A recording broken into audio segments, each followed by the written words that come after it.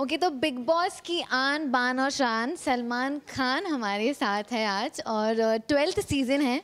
आप कितने एक्साइटेड है इस सीज़न को होस्ट करने के? बहुत एक्साइटेड हूँ इस सीज़न को होस्ट कर तो हम बात कर रहे थे आपके किस तरह से आप इस बार लेसन्स और सबकी क्लासेस जो हैं वो लेने वाले मैं इनका गुरु या टीचर तो हूँ नहीं।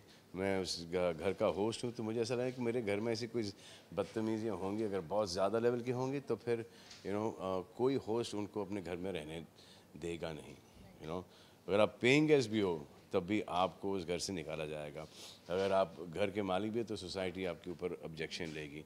और um, देखेंगे कि वो keep it as nice as possible लेकिन क्योंकि तीन महीने घर के अंदर हैं लोग और झगड़े वगड़े होते रहते हैं वो तो होंगे लेकिन वो जो एक हाथापाई का जो चक्कर है कभी कभी अग्रेसिव हो जाते हैं वे cut that down big time और वो see to it that big boss this time rocks okay okay, पिछला सीज़न जो था वो तो सबसे ज़्यादा धमाकेदार था।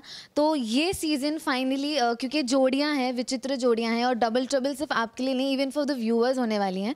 तो आप उसके लिए रेडी हैं डबल ट्रबल के लिए? I am always ready for double trouble okay sir finally क्या कुछ कहना चाहेंगे आपके फैंस को जिन्होंने हमेशा आपको प्यार दिया है and that is the that is the reason the longest जो relationship this is one thing that I been wanting to say to the fans all the time कि जैसे देते आए रिस्पेक्ट और लव वो हमेशा से कंटिन्यू रखना कंटिन्यू रखना आप। चलिए thank you thank you Latika Pandit Goa Aaj Tak.